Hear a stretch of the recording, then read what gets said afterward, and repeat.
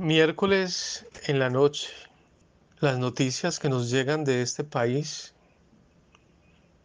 nos dejan el corazón en desasosiego. Y entonces uno se tiene que levantar de la cama, coger el lápiz y empezar a escribir. En una noche sin dormir he escrito un poema a todos los jóvenes de Colombia que han caído en estas manifestaciones y de manera muy especial a Lucas Villa Vázquez, que hace pocos minutos lo han declarado con muerte cerebral. El texto se llama Dejen bailar a los muchachos. Dejen bailar a los muchachos porque son los dueños de todos los ritmos, de todas las cadencias. Déjenlos cantar porque ellos son la inspiración de todos los cantares. Déjenlos pintar con colores rebeldes sus camisas y sus deslumbramientos. Déjenlos llevar el cabello hambriento de libertad y viento. Déjenlos respirar. Para ellos el aire más puro de las acacias y los manglares. Déjenlos proferir poemas, toda, toda la poesía para ellos. Déjenlos gritar su rabia en las paredes. Déjenlos amar en todos los rincones de la piel y del tiempo. Déjenlos dibujar el mapa del país que ellos aman.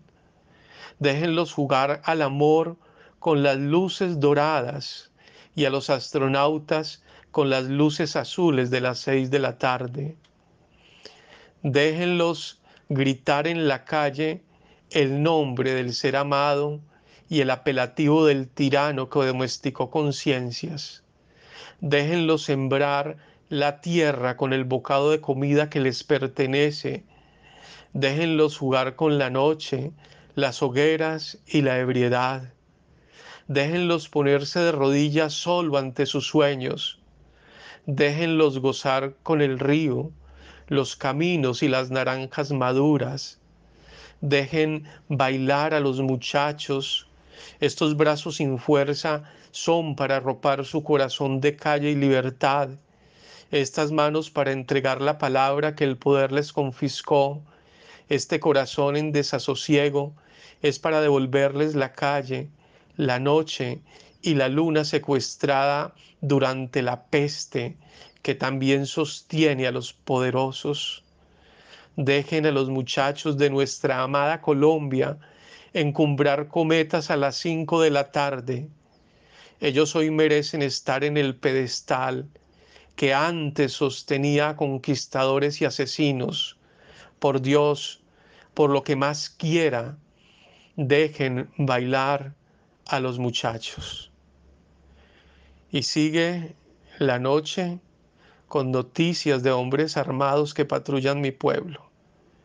Les hablo desde Cartago, desde la amada Cartago, donde en este momento hay grupos paramilitares rodeando la ciudad.